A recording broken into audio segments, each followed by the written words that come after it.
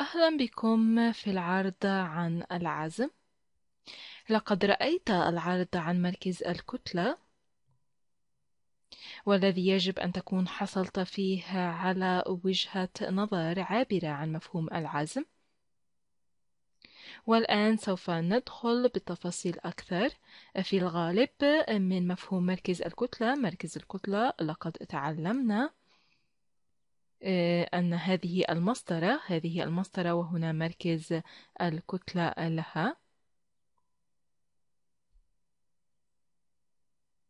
وإذا أضفت قوة على مركز الكتلة فسيحدث إزاحة للمسطرة.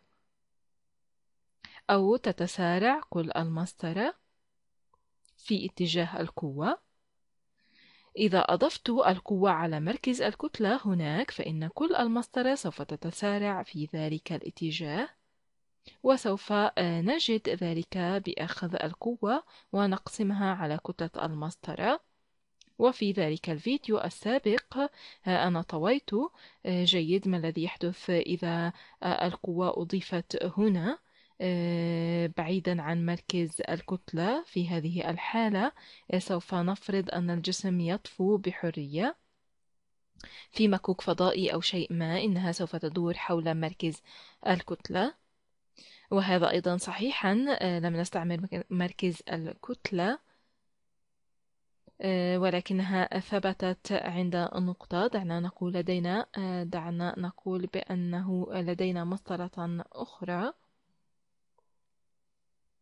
على الرغم أنها أقل ارتفاع من المسطرة السابقة بدلا من القلق على مركز الكتلة دعنا نقول أنها مثبتة عند نقطة هنا.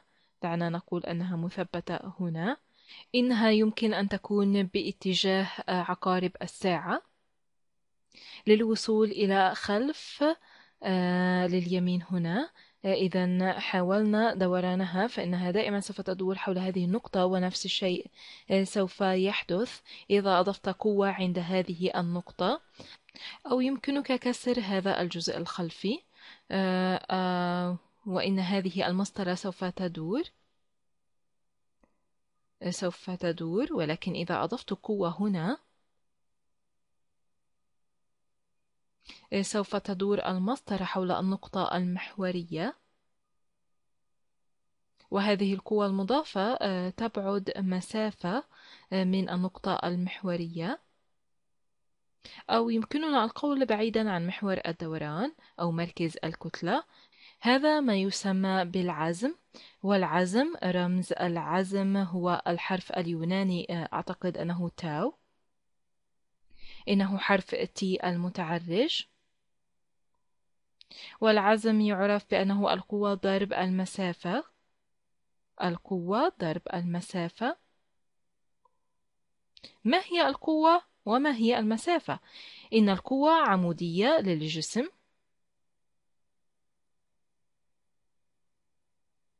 أعتقد أنك سوف تقول المسافة هي متجه. إذا كانت هذا هي متجه سوف أفعل ذلك بلون مختلف. إذا كانت هذه متجه المسافة فإن مركبة القوة فإن مركبة القوة آه، عموديا على متجه المسافة وهذا هو العزم. وما هي الوحدة؟ القوة هي نيوتن والمسافة بالمتر. إذا هذه نيوتن في متر. وأنت ستقول نيوتن ضرب متر هي تشبه صيغة الشغل. ومن المهم جدا أن ندرك أنه شغل ولهذا السبب نسمي هذا جول لأن الشغل عندما نفعله آه، نحن ننقل الجسم. هذا الجسم آه، وأنا أضفت قوة عليه. أعتقد أن القوة على هذه المسافة في نفس الاتجاه في نفس اتجاه القوة. إذا هنا المسافة للقوة آه، موازية آه، آه، موازية للمسافة لمتجه المسافة ومتجه القوة في نفس اتجاه متجه المسافة.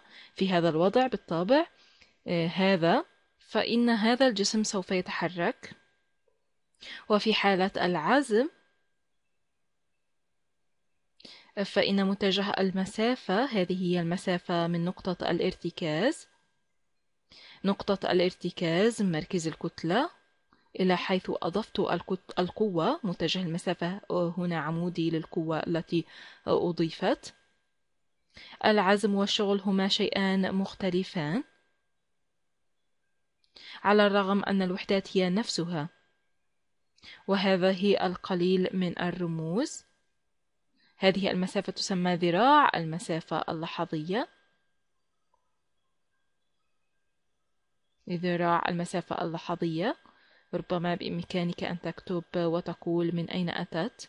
وفي بعض حصصك الفيزيائية سوف يسمونه العزم كأنه مومنت. ولكننا سوف نتعامل مع العزم دوران وهذا ممتع أكثر لأنه يمكننا أن نفهم مفاهيم مثل قوة الحصان في السيارة إذا دعنا نقوم ببعض الرياضيات. آمل أنني استطعت إعطاك القليل من الفكرة الرئيسية هنا. إذا دعني أقول أن لدي هذه المسطرة.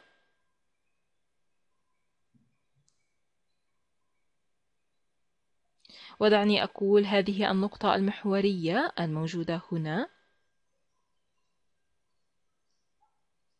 وإنها سوف تدور حول آه، هذا الشيء. دعني أقول بأنني أضفت قوة. دعنا نعين طول ذراع عزم الدوران.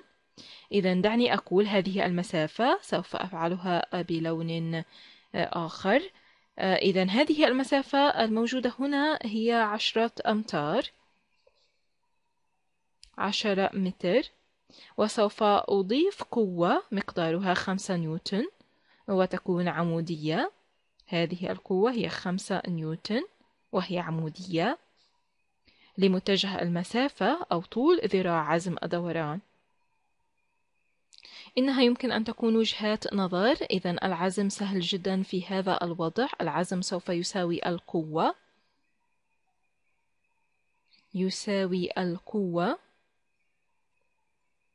القوة هي خمسة نيوتن ضرب المسافة وهي عشرة آه، آه، أمتار. وسوف تكون خمسون نيوتن في متر. ربما تقول كيف نعرف؟ كيف نعرف إذا كان العزم موجب أم سالب ذلك حيث سيكون؟ آه، اتفاق تعسفي في الفيزياء ومن الجيد معرفته. إذا كنت تدور مع عقارب الساعة فإن العزم سالب. دعني أذهب مع عقارب الساعة. إذا كنت تدور مع عقارب الساعة حيث في هذا المثال ندور عكس عقارب الساعة فإن الاتجاه المعاكس يكون مع عقارب الساعة العزم سوف يكون موجب. وإذا كنت تدور مع عقارب الساعة في الاتجاه الآخر العزم سالب. مع عقارب الساعة السالب عكس عقارب الساعة موجب. والآن سوف أذهب لمفهوم فيزيائي يسمى الضرب آه، المتجهي. الجبر الخطي والعزوم. إن هذا قليلا خارج عن النطاق ولكننا سنفعل ذلك مرة آه، أخرى عند التعامل مع الرياضيات الشاملة والفيزياء. إذا إنها جيدة بشكل كافي لنعرفها. هناك عزم مقداره 50 نيوتن آه، في متر وذلك هو العزم الكلي الذي يؤثر آه، على هذا الجسم ويجعله يدور. أعتقد أنك تعرف كيف تدور بسرعة. ولكننا نعلم أنها ستدور وهذا مفيد بشكل مبهم. ولكن ماذا لو قلت أن الجسم لا يدور؟ وهنالك قوة أخرى تؤثر هنا. هذه القوة أخرى تؤثر هنا.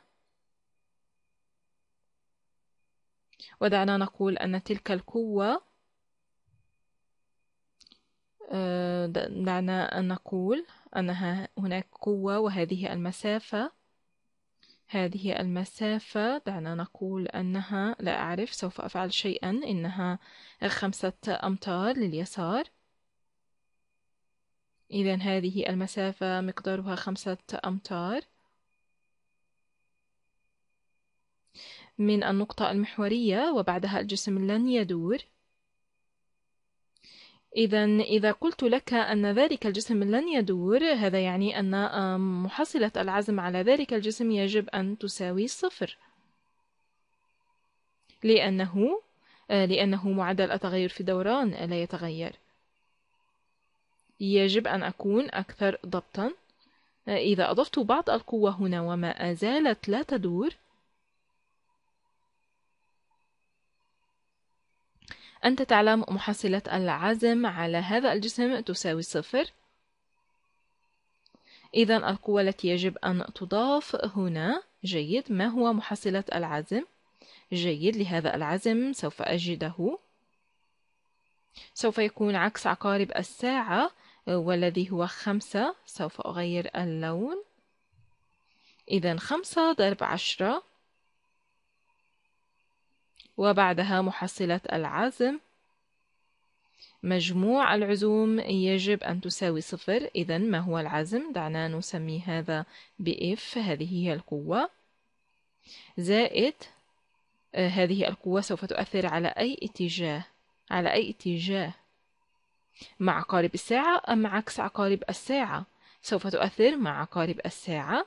هذه القوة سوف تجعل المسطرة تدور بهذا الاتجاه. إذا هذا في الواقع سيكون عزما سالبا. إذا دعنا نضع رقم سالب هنا آه، ضرب هذه القوة. إذا ضرب طول ذراع عزم الدوران. إذا ضرب خمسة. كل هذه سوف تساوي صفر. إذا محصلة العزم يساوي صفر لأن معدل التغير للدوران للجسم لا يتغير. إنه لم يبدأ بالدوران. إنه ما زال لا يدور. إذا هنا حصلنا على خمسون. خمسون ناقص خمسة إف وهذا يساوي صفر. إذا هذا خمسون يساوي خمسة إف ومنه f تساوي عشرة. يجب أن آه، نحلها. وسوف نحصل على آه، f هذه تساوي عشرة نيوتن. ذلك ممتع. آه، أضفت ضعف القوة على نصف المسافة. وفي الجانب الآخر نصف القوة على ضعف المسافة. هذا ما يجب أن نربطه أو نبدأ بربطه عندما تحدثنا عن الميزة الميكانيكية.